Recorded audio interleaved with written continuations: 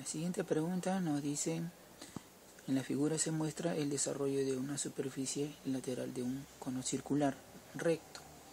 Indique el cono. Entonces, primero vamos a conocer la longitud de que le denomino L y después aplicó la definición de la longitud es igual alfa por R.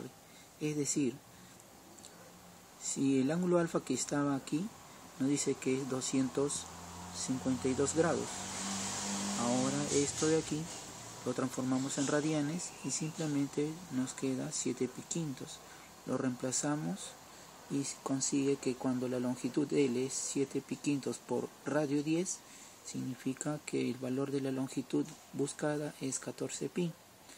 Para luego este, colocarlo esto en el espacio y significa que tenemos este cono, tal como se aprecia aquí, cuya generatriz ya es conocida y que mide 10 unidades.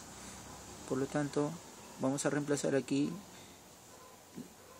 este se define como radio R y la longitud de esta circunferencia ya es conocida, pues es el, como ha sido el desarrollo de esta longitud L.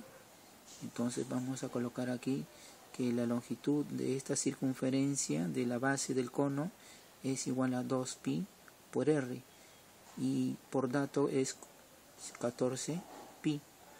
Al simplificar esto de aquí conseguimos que el radio vale 7 para luego ya determinar según las alternativas del examen la única que se cumple y se verifica en este caso es la alternativa A donde está definido el cono con generatriz 10 y radio de la base 7 unidades y esa es la respuesta al problema.